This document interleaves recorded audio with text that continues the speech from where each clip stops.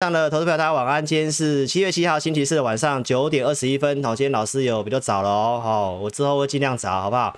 好，尽量在八点半。哦，如果我真的做不完，我就会用其他的方式。哦，老师今天有做个笔记，今天有做个笔记。哦，所以呢，我今天来跟大家分享一些东西。哦，那行情的部分呢，我今天来跟大家报告一下。哈，金融市场反应，哦，乌俄战事是不是要结束了呢？那景气衰退有不同的程度嘛？是衰退还是趋缓？好，这跟接下来的一个行情有很大的关系。那什么东西是意外的好？好，那中国哦，提前要发这个债券，要做这个基础建设。哦，基本金属今天反而是在呃刚刚好就出现大涨。细节内容老师来跟你做分享哦，一定要锁定，谢谢。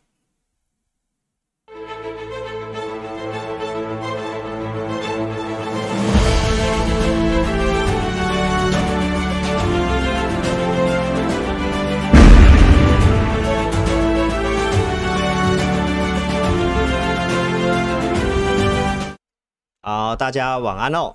好，谢谢大家哈。这个行情大家也辛苦了哦。昨天直播啊，或者是星期二老师的文章，我都告诉大家哈。其实我们真的觉得这个跌是有点跌的过头了哦，就是请大家要忍耐啊。老师昨天也看到一则新闻，在推荐了一个影片还不错，好像叫做这个极地求生吗？哦，你有兴趣你可以去看一下哈。这是在讲一个德国的逃兵。如何从北极哦，花了好几年的时间，走了一万四千公里，最后回到他的家人身边哦。那如果你看过这一部影片的话呢，我想你应该是会很多人生上面很多可以克服的事情，应该都会克服哦。股市其实也是一样的哈。好，那这一波行情来讲的话呢，哦，老师有遇到一些批评指教，我也都虚心接受，好不好？因为这个行情，老师呢，啊，我们团队也确实有犯了一些错误，好，但是呢。就去虚心检讨嘛，对不对？一定会越来越好。那总不能够说是一直去乱讲的。好，我们的过程，我想忠实观众都很清楚啦，好不好？希望我们的操作可以像老师的头发一样啊，越来越好，好不好？好，那这行情的话有这个反弹的讯号哈，那投资朋友也是不要掉以轻心哦。我们今天来跟大家分享这些原物料回到战争之前，哦，那乌俄战争是不是将结束了呢？通膨将转折，这是。行情很重要的一个点嘛，哦，中国发债这个事情，然后也跟大家预告一下，老师将来的节目，我会稍微内容做点调整啦，哦，我会希望控制在四十五分钟以内。那我的节目或者是老师的这个午报导航，哦，那我们会来跟大家讲一些我觉得有机会的强势股，哦，有价有量有族群，哦，那个花莲是好山好水好无聊嘛，对不对？然后我们强势股就是有价有量有族群。啊，那景气衰退它有不同的程度，是真的衰退很严重呢，还是指这个趋缓？哦，什么是意外的好？我来跟大家做个分享，好不好？好，那我们先来讲一下这个通膨的东西。哦，这是汽油的期货，我圈起来的地方呢，就是乌俄战争二月二十四号发生的地方，就在这个地方。好，那你可以看到这个汽油价格已经重挫，已经快要回来这个。呃，二月二十四号这个地方了，对不对？好，那这个是原油，其实已经快回来了，现在在九十五块钱的一个期货盘。好，那这个是小麦，小麦其实已经跌回来起涨点了。啊，所以其实人家说说金融市场反应在前面嘛，那为什么跟乌俄战争很重要的原油跟小麦都跌回来了？哦，其实，在跌回来的时候，我就有在思考，是不是乌俄战争有机会哦结束的讯号？那我今天看到一则新闻，我当然也不知道是不是真的啦。那我来跟投资朋友做个分享哈，这个是我们国内的媒体哦，郭正亮应该是委员吧，对不对？他提到这个《纽约时报》的报道的内容哦。那其实我们看到一些现象，其实我觉得这个这个的逻辑是还蛮不错的哦。他提到说这个哦，支援乌克兰的这些的国防的东西哦，送武器过去呢，呃，其实。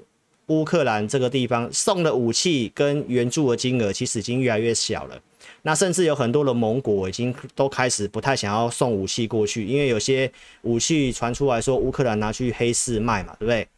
啊，所以这个地方有提到说美国跟俄国做了四项的交易哦，就是关于北约的事情哦，希望这个呃不要让乌克兰加入北约嘛，对不对？然后芬兰跟瑞典可以加入北约。对不对？所以俄国这边也没有再进一步针对这个呃立陶宛好去做这个演习。再来就是这个蛇岛退出来嘛，让这个粮食可以运出去，这是确实是最近所发生的事情。好，所以从金融市场的逻辑看起来，投资朋友，金融市场已经稍微消化掉这个乌俄战的事情。好，那我们从这个一些的一个新闻的内容，我们看起来也有这个机会。好，所以从金融市场的角度来跟大家做分享。那你有兴趣看这则新闻哈？那请记得老师在五月中告诉大家的，第二季比较颠簸，第三季是一个很关键哦。我说到战争最好在秋季左右能够结束，会有利于经济。好，那因为这个不确定，所以我们先跟大家讲看反弹或筑底嘛。哦，回升的条件看普丁啊哈，所以现在有些迹象你都可以去看。哦，援助武器跟金额这个东西慢慢少了，而且俄罗斯现在越打越顺手，其实已经是大家已经断定他应该是会赢的啦。好，所以战争的部分很有机会可能就看到一个终点哦。那我们是希望在九月之前呐。好，所以这是乌俄战争的看法哈。好，那再来我们讲一下周二告诉大家的，就是市场上已经认定现在会衰退了？那就是钱流向一些防御型的东西。我当时是跟大家讲到美元跟十年期国债，对不对？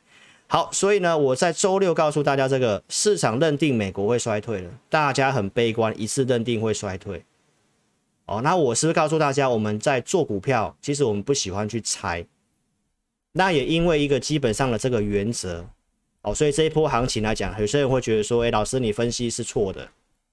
其实我们就是照这个基本的一个原则，哦，来，鲍威尔提到要打通膨嘛，对不对？要提高衰退的风险去打通膨嘛，甚至有人都已经认为是美国会衰退了，然后去放空了，已经卖股票了，这是市场上的行为嘛，对不对？好，所以我在周二告诉大家钱进去美元了，对不对？那我是不是告诉大家，你看当时的这个？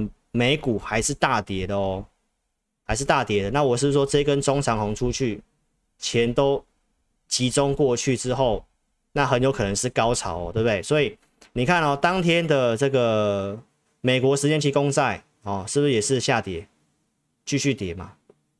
下去代表钱躲到债券里面去了，所以钱到债券跟到美元，就是市场上很保守，认为会衰退。哦，这是我们对于市场上的行为的解读。好，所以投资朋友，我们来回顾一下。哦，我们其实看的一些东西啊，基基础你要了解，就是我提到联准会这次利率告诉你要到三点五嘛，对不对？但是美国十年期公债它已经反映到当时利率在这个地方的时候，就是大概在三点五到四趴嘛，对不对？所以我帮大家拆解六月中的这个联准会的点阵图，我是告诉大家这个升息的路径。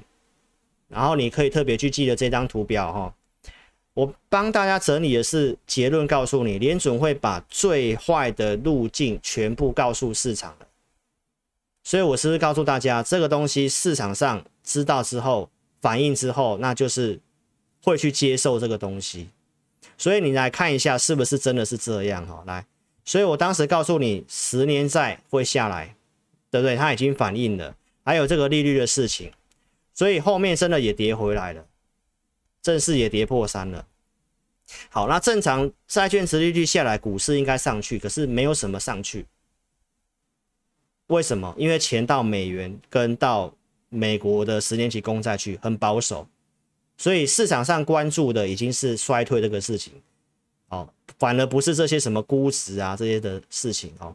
好，所以我们来看一下一些的逻辑哦，这个跟你操作很重要哦。今天看的人真的还蛮少的哦，踊跃帮我分享一下，好不好？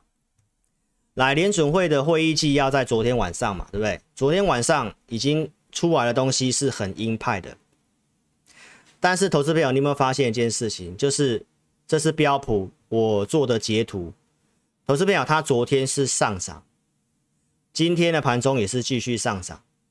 那你再看一下美国标普的低点出现在什么时候？出现在六月十六号，这这代表什么意思？投资朋友，利率的事情市场上已经消化完毕的，就是我告诉你这个图，所以它升息升级嘛，好，这个东西，投资朋友，它现在已经不是金融市场的重点，这个已经是已经先反映了，所以为什么昨天这个鹰派东西出来，美股还是涨？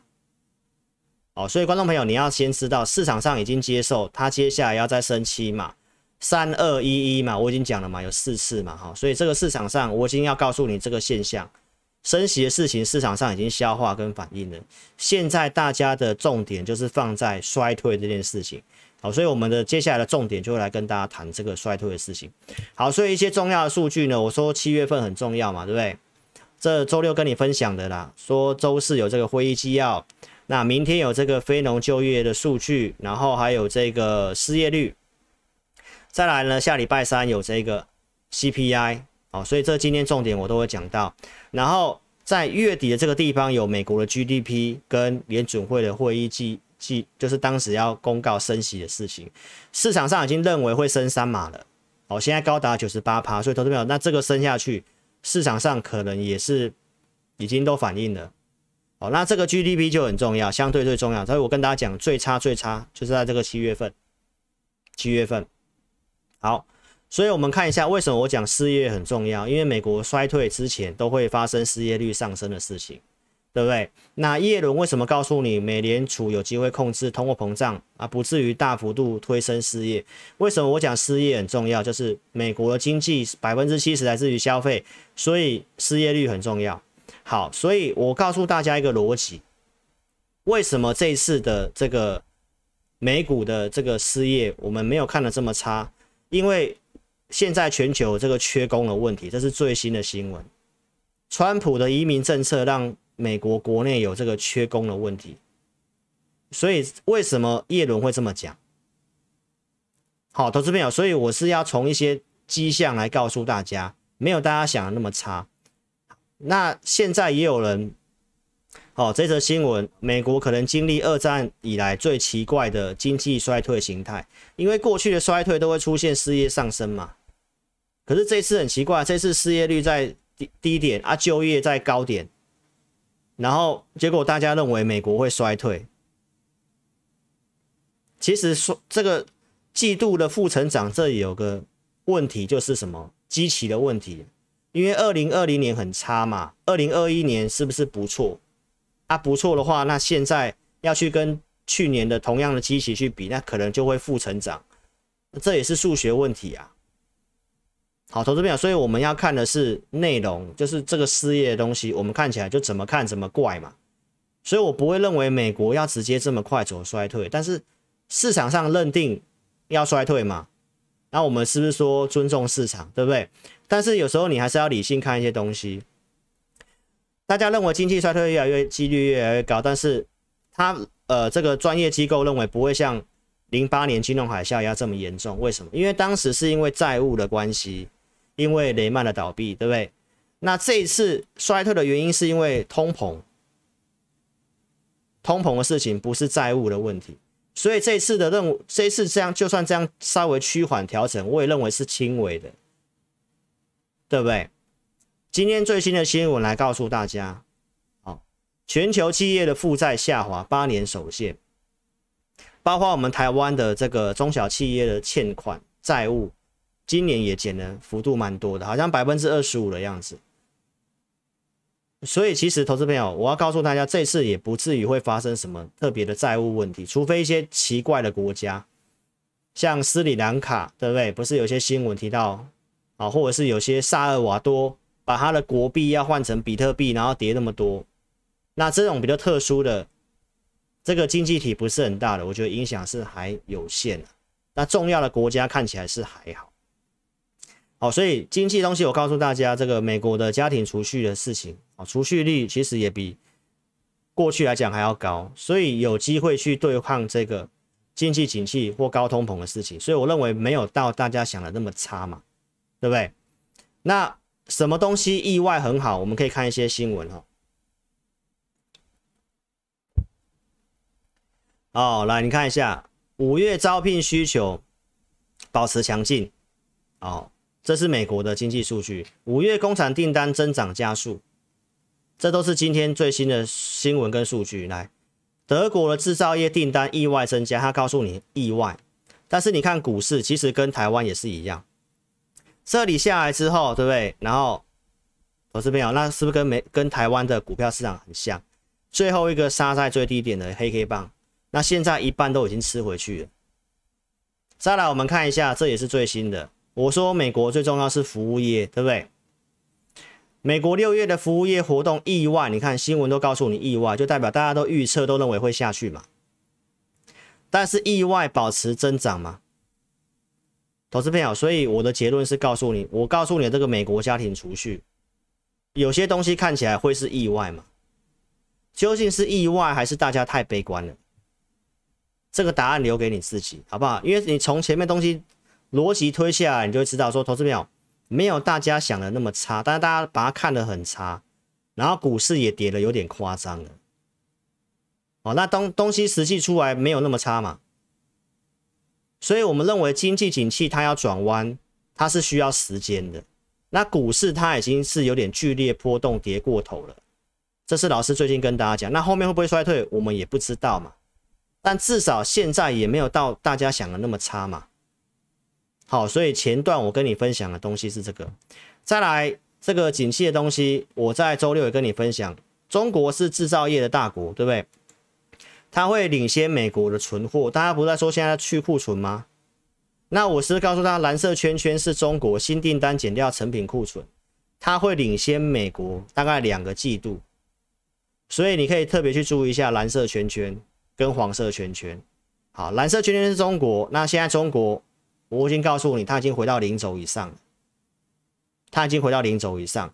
中国跟美国都是消费大国，那制造业中国又是。很重要的大股，所以如果这个中国的制造业新订单减掉成品库存，它已经回到零轴之上了，那它会不会领先美国的景气？这是我说要告诉你，有些的领先东西已经上来，所以我们在看这个东西，我认为市场上真的是有反应过度的现象，啊，有反应过度的现象。中国，我告诉大家最差是第二季嘛，这个也是我们认为当时没有那么看。把钢铁看得那么坏的原因在这里，最差在第二季，其实你也看到了，也是反映在前面。第二季投资朋友，那它其实股市已经过了第二季的高点了嘛，持续性的上去嘛，这是六月底嘛。制造业会有库存，这个也是我在四月中告诉大家的嘛。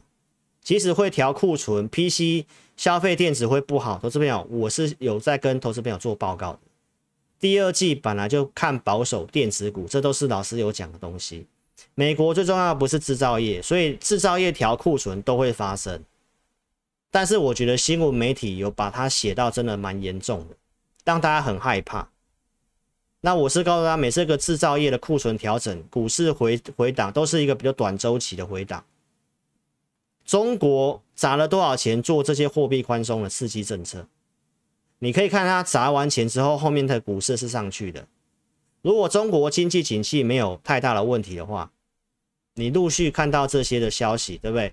上海用电量恢复九成，这都是经济好转的现象。这些的大放水、逆回购的事情，一路的我从四月份一路跟大家讲到六月份，隔离的政策提振经济的，然后 PMI 制造业开始回到五十以上，这是我周六跟你跟讲的。呃，更新的中国服务业 PMI 也回到创十一个月新高，这都是证明我在五月中告诉你的，中国的谷底就是在第二季。所以美国在非常不错的地方，大家认为会衰退，但是中国最差状况过去，中国要上去。那全球最重要的三大经济体，中国、美国、欧洲，我说欧洲看起来比较有问题嘛，但是你看它德国的资料，其实也没有到那么差。没错吧？所以大家是认为后面会很差，那实际出来没有到那么差，而且也跌了一大段了嘛。所以中国要发债筹资，要做这个基础设施的项目，这是在周六的新闻，对不对？然后我告诉你，美国、美国跟中国现在都要比拼经济，所以中国做了多少事情？所以我告诉大家，钢铁股，我们六月、五月底、六月初那个地方叫大家减码，我们是留钢铁。因为我真的认为跌的真的有点重，对不对？那当时如果也卖，那当然是更完美。对，投资没有，但是你可以看，我们还是跟大家做追踪嘛。钢铁业者的看法都是八九月份之后应该都是是不错的。哦，那股市会走在前面哦，所以你可以特别看高盛把铁矿砂的目标价往下降，降了之后，你看到中钢是没有什么跌，到现在的报价你也可以看到，中钢还是在这个地方。那你可以特别去注意一下五月底六月初这个地方，至少投资朋友，我们这里不会去叫你去追吧？那我的认为是真的是跌的乖离幅度有点大，而且中国的景气，我还是跟你强调，钢铁跟对岸的景气是最大的关系。所以如果对岸的最坏状况过去了，投资朋友，那我认为钢铁股这个地方哦的看法我已经告诉你了，我没有要你去买。但是我认为至少这个地方你你也不要去乱砍，这我的看法了啊！如果你受不了你要砍的，那你就砍一砍，啊，这我节目告诉你我的看法，好不好？好，那我跟大家讲最新的一个一些的资料，这是国际的镍价，那镍价跟不锈钢有关系吗？你可以看到一月份的镍价在两万二美元一公吨，哦，两万两千多，现在的。最新的到七月五号的资料，它投资票它已经回到了一月份的这个地方。好，那你可以去比对一下钢铁股跟一月份，它其实最近调了盘价，调上去又调下来，但它还是有一定的利差。那这是它基本的进料的一个成本，镍的进料成本。所以投资票那成本降低，它还是有一定的逆差。再来，我告诉大家一个最新的新闻啊，就是我下午在整理资料的时候，哦，这个新闻出来，中国考虑提前明年地方专款的这个债的限额，大概要做一点五万亿的人民币，大概是两千两百亿美金，两千两百亿美金，那就是在下半年要提前启动发行，那这个部分就是告诉你要去加大基础设施，要拼经济。所以这个东西下去，新闻下午的新闻，哦，在老师整理资料的新闻。好，所以你可以看到，在这个新闻之后呢，哦，这个是铜价，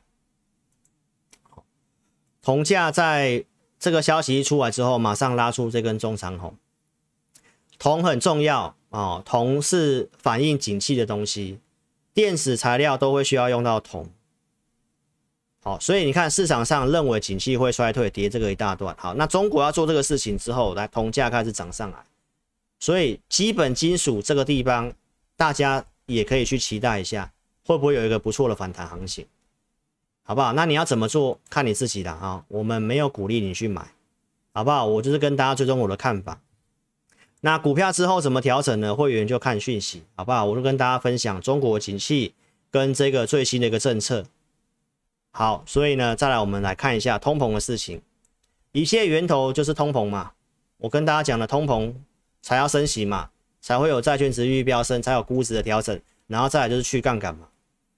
那这个预测数字其实都在下滑当中，这是在七月二号周五，七月份的 CPI 这预测都是在下滑的，克里夫兰的预测。所以我们可以看到六月份就在下礼拜要公告的哦。那你到六月底七月初的时候，你看到汽油、原油、天然气、小麦，投资票，六月份都是大跌的。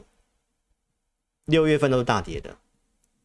那下礼拜所公告的 CPI，你要去想一件事情，这个柱状图这个地方就是去年的六月份，这里的基期它已经拉高了，所以现在的一个。通膨出来，投资朋友，这个机器拉高的状况之下，下礼拜所公告的通膨，加上这个东西的下滑，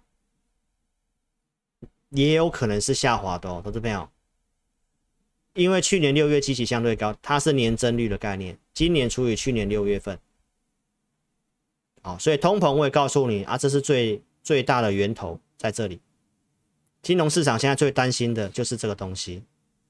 好，所以呢。结论告诉你，第二季本来就是通膨，大家的预期的高峰在这个地方，后面会慢慢的趋缓下滑，下滑速度快跟慢我们不知道。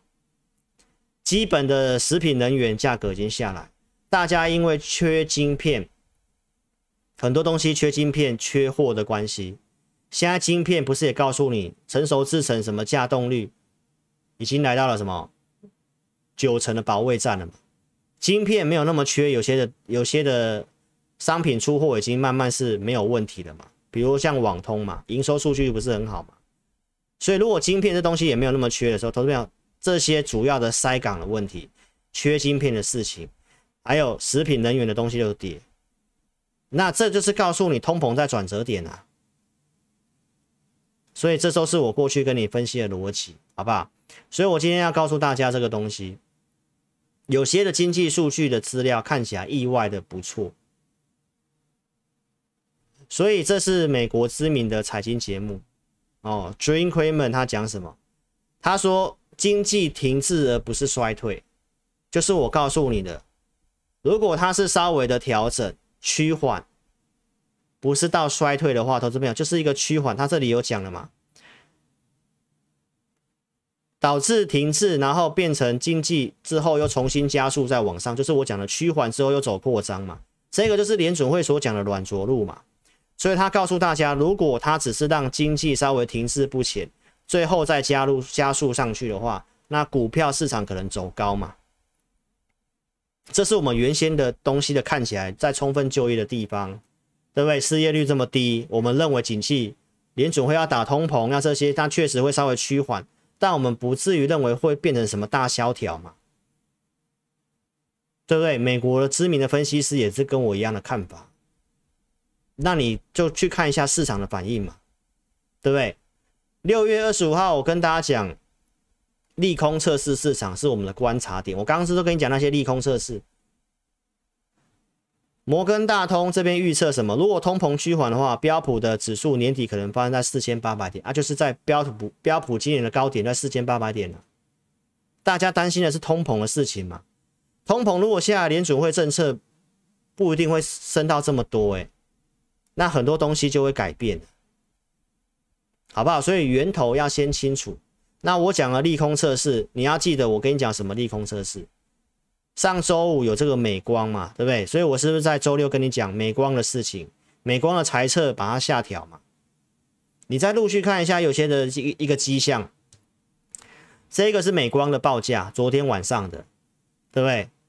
那你可以看到它公告这个财测下修的地方在这里，它是往下跌，跌一天而已，跌一天之后收敛，啊，现在那个高点已经站回去了。那这是我告诉你的利空测试，市场的反应是什么？预期已经反映了嘛？大家明白吗？这是美光嘛？这都是我们现在在跌很多之后观察的点啊，就是这个现象嘛。再来，重要是比特币嘛，对不对？比特币真的跌很惨。这是最近这一个月的比特币的走势，投资者你要特别注意一下，比特币它已经接近快半个月都没什么跌了，守住两万点已经一段时间了，破了之后站回去，破了之后站回去。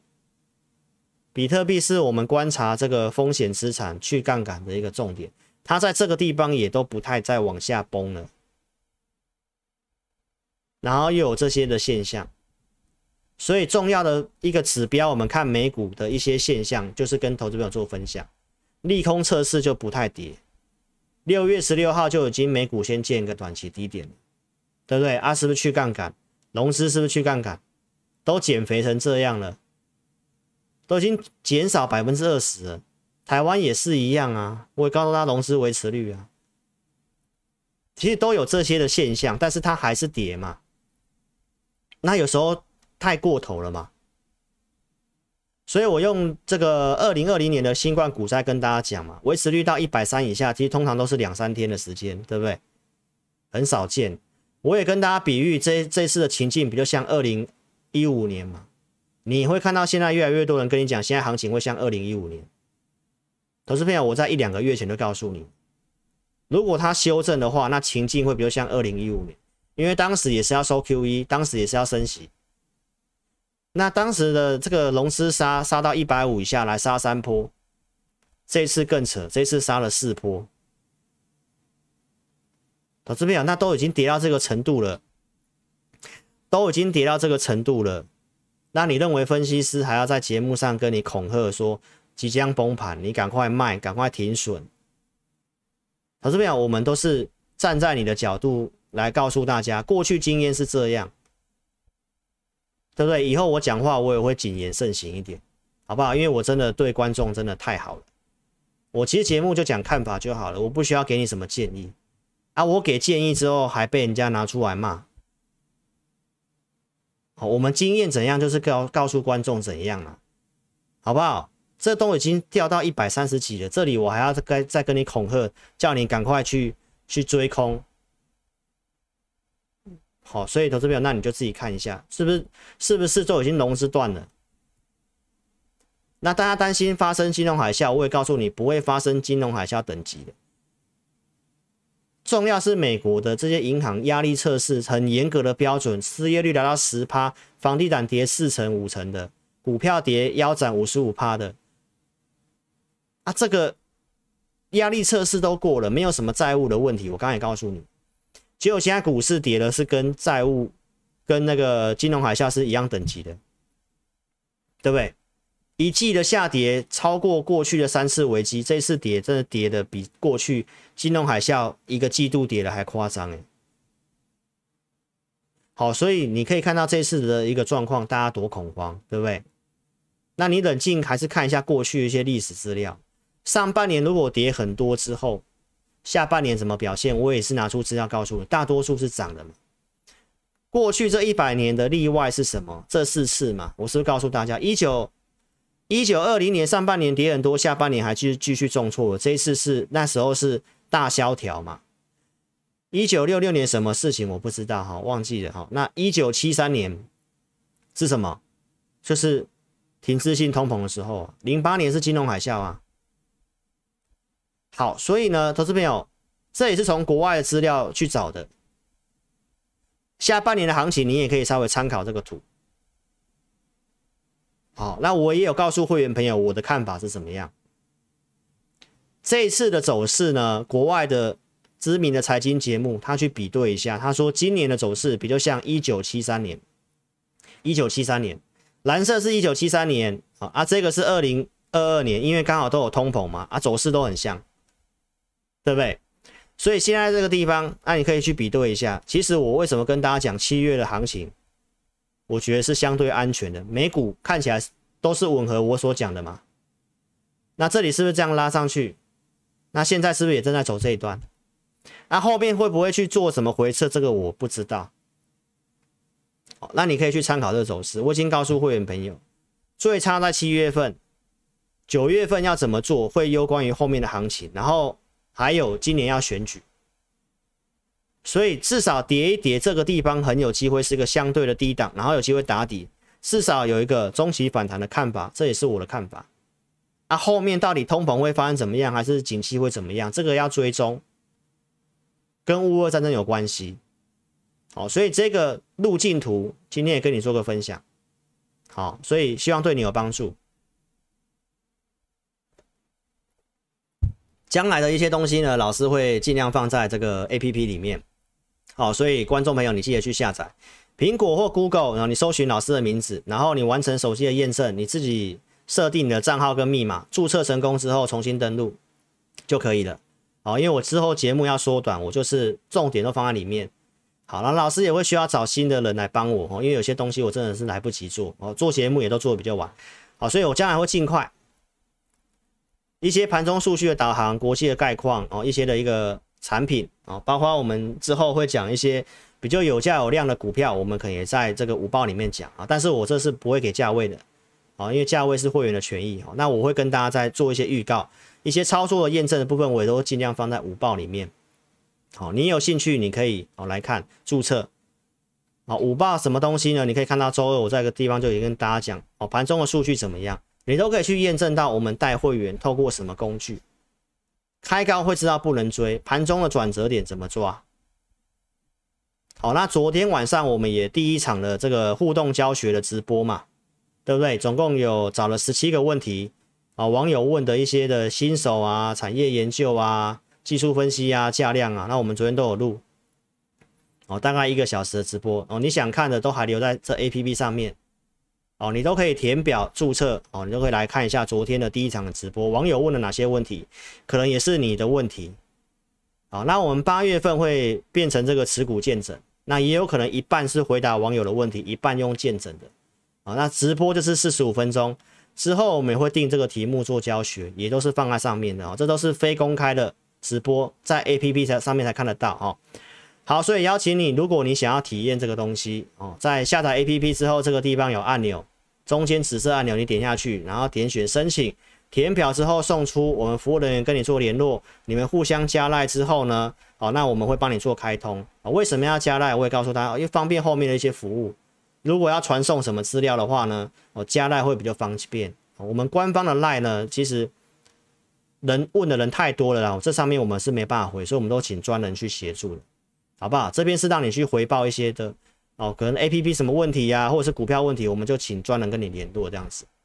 好，那大家怕诈骗集团，就一定要下载我的 APP 啊，因为老师将来不会在外面邀请你加我的 Line。如果你要用 Line 来问我一些事情，好，那你可以在 APP 上面点这个智林咨询，那这个点进去打开 Line 就是我的路径，那这是正确的。好，所以一定要下载 APP。其他功能，我们的呃这个直播跟文章也会在上面做通知。好，那午报跟教学是要申请的。好邀请投资朋友，你可以去做一个提出申请，记得手机下载之后要打开通知，我们这个直播通知你还可以立即的收到，好不好？所以这是一个给忠实观众的服务平台，将来的东的资讯我们都尽量放在上面。影片下方有这个连接，你可以点选，也可以做下载，或者是直接搜寻哦，Google 或者是这个 Apple Store 搜寻我的名字就可以下载，扫描标签也可以。哦，这工商服务一下。那也记得订阅老师的频道，手机打时右上角叉叉点掉之后，来这里帮我点订阅。那请帮我按赞跟分享影片。好，订阅老师的频道呢，将来行情大家也知道，我尽量用大数据跟大家讲。好，那我文章跟午报尽量就是之后都会有定期提供这些东西。所以呢，投资朋友，我是有提醒你卖股票的，透过什么数据？指数在涨，多方股票加速背离。所以，包括产业的讯息，现在都跟你讲已知的坏消息，手机啊、PC 不好。老师在二月份都告诉你联发科的事情，联发科告诉你今年手机不好，叫你一千一百块要卖，对不对？电子股第二季我为什么看保守？因为通膨成本上升的事情。再来，这个也很重要。老师因为第二季电子股看的比较保守，所以我告诉大家，你资金用五成就好。我想这个已经是帮助你很多了。我认为没有会跌到这样子，但是资金控管，我们该看的东西都有提醒大家，对不对？所以这你可以避开吗？那当时也真的跌电池涨钢铁，这也是没有错的。所以四月中之前，投资朋友老师的看法是没有错的。四月中之后，是因为这个中国封城的事情，对，遇到事情了。那我们当时看，其实股市当时也没什么反应，因为三月底就传出来了。所以今年的行情真的有点比较难掌握。那既然我们如果有些的操作的部分，我们都会定期去做检讨的啊，我们内部也在做检讨，将来如何去做的更好，这老师会虚心去做检讨，好不好？但是你可以看我节目，我该提醒你也提醒你，过去的转折怎么分析的？十一月六号叫你要卖的，这里贪婪叫你要卖，美股在相对高点叫你要卖，对不对？开红盘这个地方，二月九号，我有叫你要卖，所以我是有提醒你要减码股票的。五月底这个地方，我是告诉你不要追，叫你不要追，要减码。这字幕都没办法骗人。我减码什么股票，我节目都有讲，像深达科、深茂，这里告诉你不要追，拉上来这个地方，投资朋友，这里量缩掉，结构不太对，我都告诉你要卖。六月七号告诉你要卖，六月八号大涨，哎，你刚好可以卖在相对不错的地方。那这一段下跌，投资朋友你可以避开的。所以我们是有提醒投资朋友做减码的节目。六月七号这里叫你要减码，我都已经告诉大家，当时我减码什么股票，我节目都有讲，我节目都有讲，不管森达科、汉磊，这都重复的。当时我们都有建议卖的茂联，对不对？风力发电有做的，上尾投控当时有做的，有卖的。六月十号这里减码一半的，然后六月十四号出清的，这都有讲。太阳能的原金当时也有卖的，对不对？都是六月七号，包括联合再生同个族群减码掉，因为量不太够会回撤，所以这个都是当时六月七号有讲的画面。后续再跟你讲，我觉得有机会的时候，这是联合再生六月二三号，所以这个是这中间的过程，哦，这我都快快带过了。然后我告诉大家，台湾的电力它要做储能，我讲中心电四十八点九五，对不对？涨到五字头，行情不好的时候，你也可以去看一下这些股票。第三季要做的重点，这个太阳能，因为电价在九月份还有可能涨。这是整季第三季里面相对有机会的，所以你到现在你可以看一下这些呃政策方面的，这个是中心店嘛，也是相对强势啊，五日线、十日线、月线以上的股票嘛，对不对？那你可以看这段时间行情跌成这样，对不对？这个是联合再生啊，二十二点五啊，今天也是拉长下影线。好，所以你认同老师理念的邀请，你可以跟上我操作。我刚刚是告诉你，其实我们是有叫你卖股票的，有解码，该做的我们有做。好，所以认同理念可以跟上我们操作。哦，看头部节目注意要看到扣讯，呃，哪一组会员买什么股票，这个都是看扣讯的重点。哦，节目有预告的，然后有扣讯的，做追踪的过程，这是新塘嘛，对不对？隔天继续大涨的。利多消息三月底出来卖掉的，我这里是跟你举例，你看我节目够久了，你也知道我们都是这个顺序，卖掉也跟你讲，最近预告有做的来台办跟智毅，对不对？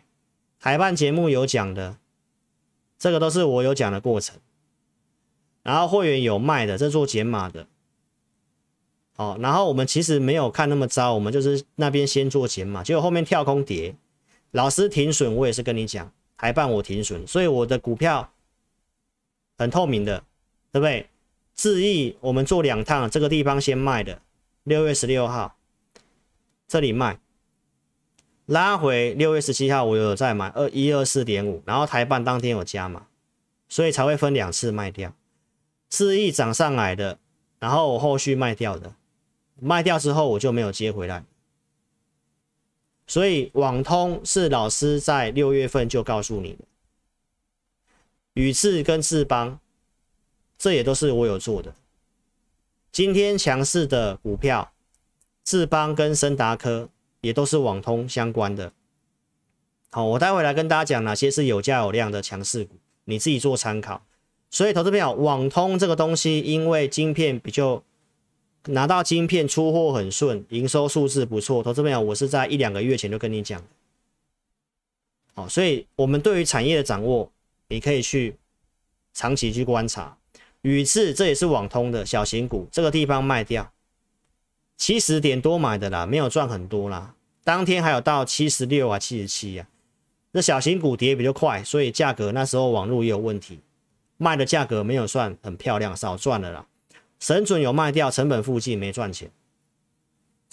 好，所以这在我的五报上面有公告的，所以有些股票我在五报上面哦，因为那都是注册信赖我的粉丝嘛。好，来，那我就跟大家追踪一下今天一些重要的讯讯讯息跟新闻哈。今天半导体大涨。最主要跟这个新闻有关，就是美国施压这个爱斯摩尔的 DUV，可能不要卖给中国了。那他们在于这个成熟制程的扩产就会有问题，这个是接下来很重要的，你要去做追踪。因为假设真的发生的话，那这个库这个晶片的这个架动率的部分，可能又要拉到满载的。这是今天半导体大涨的原因。哦，但是现行架构这个还不是我今天要跟你讲的一些股票了啊，只是告诉大家这个讯息，我们可以去做追踪。如果真的发生的话，那晶片可能还是会缺。好，再来股王大力光，老师在周六上礼拜跟大家讲的，苹果在九月份的备货一样是九千万只到一亿只，这跟去年差不多。那九月份要发表，什么时候会拉货？我是告诉大家七月份会拉货。所以七月份关于电子股跌了这么多，那瓶盖股通常是要在开始拉货之前你就要做了。那今天就有这个讯信息了，对不对？大力光它亮灯涨停板，那它告诉你什么？七月会剩六月嘛？大家也都知道这个林恩平是老实数嘛？哦，所以我今天先跟大家讲第一个第一个族群哦，来有价有量的技术面还不错的，你自己参考一下。今天因为今天的行情是一个有稍微出量。哦出量之后呢，盘中预估量原本就到两千七百多啊，最后就说到两千六嘛。来，你看它出量之后是有站回去昨天高点，至少这个地方有这个机会哦。好，那今天的这个强势族群，哦，就是光学的部分，它有个族群的，第一个是大力光嘛，它是龙头的涨上来。所以你可以去看一下这些的线型，哦，大盘今天如果持稳的话，那你要这时候你就要观察什么强势股是领先转强的，那有个族群是最好，然后如果有题材又更好，就像我讲的要拉货嘛，所以大力光这个地方你可以看到，它已经先过六月的高点，那它是这个族群的领头的嘛，所以你看到这里面还有什么三四零六玉金光嘛。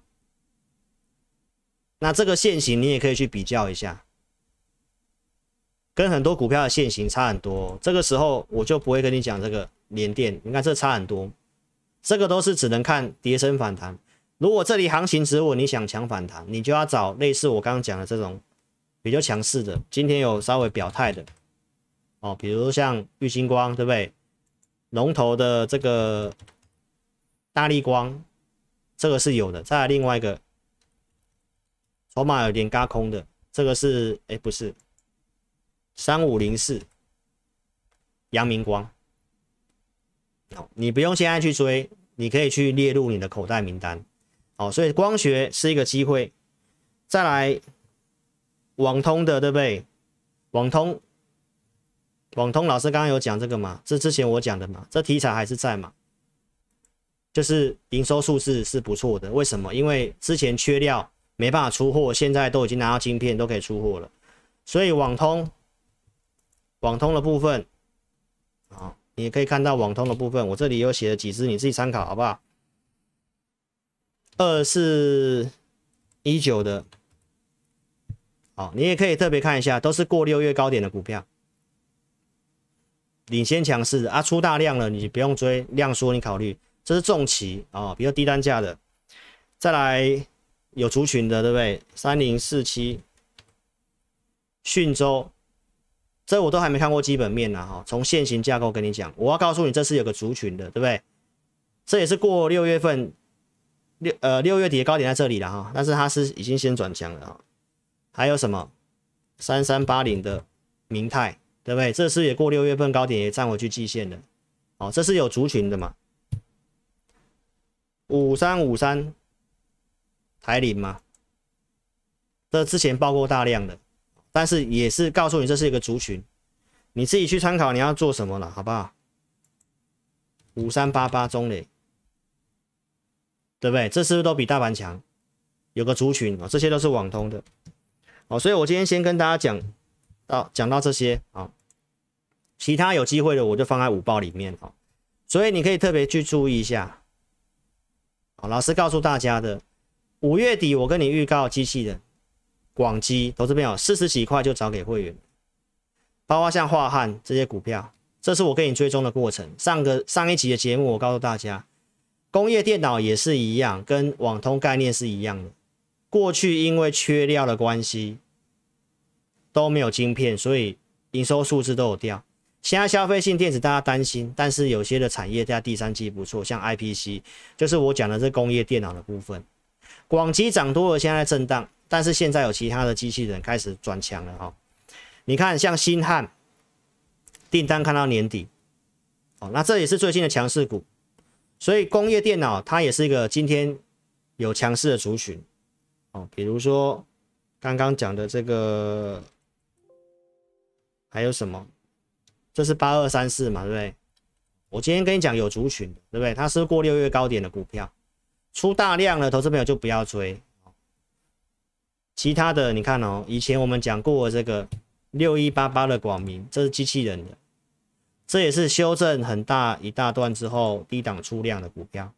所以今天一个很关键，你就要找一些类似这个股票，对不对？八零五零的广基，哦，这里这已经很强势，在震荡了啊，所以这是同族群的机器人的，你自己参考，你自己参考啊。我跟你讲，有价有量的，有族群的，所以机器人这是我之前讲的过程，五月底预告的，对不对？上影，上影的看法，我今天午报里面也有写哦，这边我也都先保留。再来，工具机今年也是看成长的。上影最近震荡是因为现金增资啊，看法是如何？如果你有你有上影的啊，那你可以填表来看我们的午报，我已经有写关于上影的。将来钢铁的讯息我也会在午报里面讲。OK，所以将来的服务就是这样子，我会把它做个区隔，我会把它做个区隔。你认同理念的，你可以跟上老师的操作。老师的会员服务很单纯，两组，普通跟特别，扣讯带五档以内，我都讲很清楚了。额外入会员音。然后准备投资名单，每个礼拜会准备放在我们的会员专区里面，好，这是给会员的服务。投资名单我们都会给价位，会员因为告诉会没有目前的盘势跟怎么操作，我看好的方向我都有定锚一个产业的方向，我都是先定锚的。我做的在这边，你看到机器人在这里，好，之前做的东西都在这个地方。投资名单你可以去验证一下，五月中我跟大家讲的。当时行情断完头之后，我觉得有机会止稳。我告诉大家，有些股票先止跌的。我今天告诉你的也大概是类似这个概念，也大概是类似这个概念。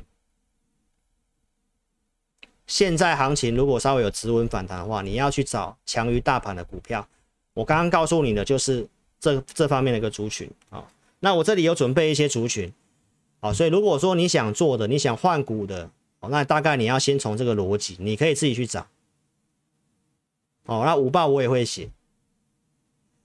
好，这是五月中跟你讲的玉龙，四十一块钱啊，所以你可以去比较一下这段时间的行情，不太好，玉龙反而涨上来。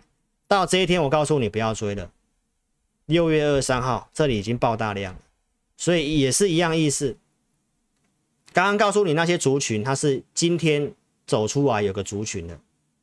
如果已经出大量了，那你不要追，但是你可以列在口袋名单。如果它量缩回撤，那你你想做，你可以考虑做，也祝你大赚钱。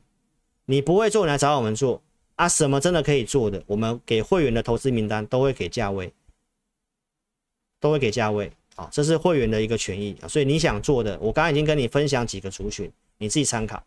最后我跟大家讲一下筹码面。现在最重要就是法人的筹码什么时候回来？因为这个地方明显是明显的在这个位置，在这里要跌破大概一万五千五的这个地方之后，法人的筹码开始由多转空。这里我认为有机会筑底，是因为当时的都还没有这些避险，对不对？这里开始转成避险部位之后，呢行情就一路跌，然后你都看到一些坏消息新闻，那也可能是这些秃鹰放给你的新闻。好，那目前当然你看到昨天我跟大家讲，外资已经开始回补，回补空单嘛，昨天补了五千多口嘛，今天又补了大概两三千口，所以这里人家已经在回补了，选择权的水位也开始稍微上来了，所以这里的看法，如果明天是在跳空往上的话，那它就有机会走一段反弹，反弹到哪里，我有告诉我的会员，所以这里投资朋友，我提醒大家，还是先看反弹。还是先看反弹。那我认为经济景气也没有那么差，有没有机会回升？它需要一些条件，我们也会去做追踪。所以这里如果有机会反弹的话，那你就先以反弹的行情去看待，看怎么做。有空闲的钱去买比大盘强的股票。那有些股票你要抢反弹，手脚要快。那我们有设定一些股票，所以你想操作，你可以跟上我们操作哦。所以行情的部分，我跟大家分享到这里，希望今天节目对你有帮助。影片下方点标题，下面是秒连接，点选右边表单写清楚持股问题，你可以写清楚。那上来到哪里该卖哦，你都把你的股票写清楚，我们尽快来协助你。好，那你也可以下载 APP，影片下方点标题也有这个连接，下载 APP 或来电二六五三八二九九。将来的服务我就比较多放在这上面了。那直播时间老师将来就是尽量真的准时，然后控制大概在一个小时以内或四十五分钟左右。所以这张东西的内容一定会稍微变少。那我就尽量在文章或午报里面哦去做一个分享，好不好？所以邀请你一定要下载我的 APP。那这里行情我已经跟你先定掉，有机会反弹，弹上来哪些股票该卖的啊？你空闲的资金，投朋友不要去摊平，不要去摊平股票，你要找有机会的强势股。我刚刚已经跟你分享了，对不对？有族群的，像工业电脑或者是这个光学的，那光学的题材大概跟这个元宇宙比较有这关系的。车用也有涨一些股票，还有网通的，啊，或者是光通讯的，太阳能，大概这几个有个族群，你都可以去找。那想操作的话，我们会准备投资名单，好，所以希望今天节目对你有帮助啊，非常感谢你的收看。那下一场直播我们在星期六来跟大家做见面哦，好，所以谢谢各位。那音乐结束，我们再跟投资朋友打招呼，好，谢谢，拜拜。